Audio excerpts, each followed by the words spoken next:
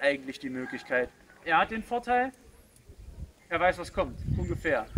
Und kann sich sehr einfach darauf einstellen. Ne? Das heißt, Variante 1, Fette gibt irgendwann die Blöße da drüben frei und ich probiere zu treffen.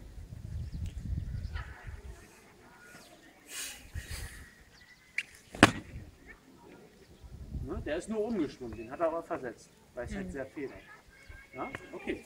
Wenn man, das kann man sogar im Training zu Hause mit Punkten machen, ne? Wenn man das schon ein bisschen öfter geübt hat. Das ist dann so eine Motivation.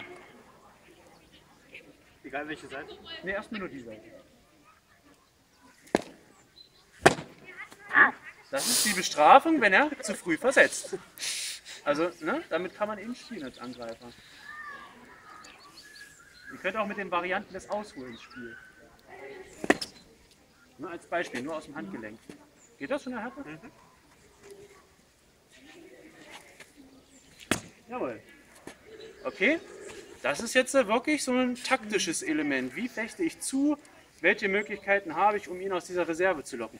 Und nur am Stand kann man später alles unendlich als Trainer weiter mit Beinarbeit, aus der Bewegung, die Blöße ändern.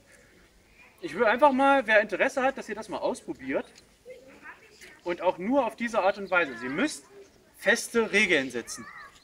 Und die feste Regel ist eben wirklich, erstens, ihr testet den Abstand, steht im Stand, könnt ihr auch mit dem langen Schwert dann machen, ne? und er gibt die Seite frei, ich darf eben nur in diesem Bereich angreifen. Also von hier, ne, Meier, obere Blöße ne, dieses mhm. Viereck. Das heißt, ich könnte jetzt auch variieren und könnte sagen, ich hau Mitte auf.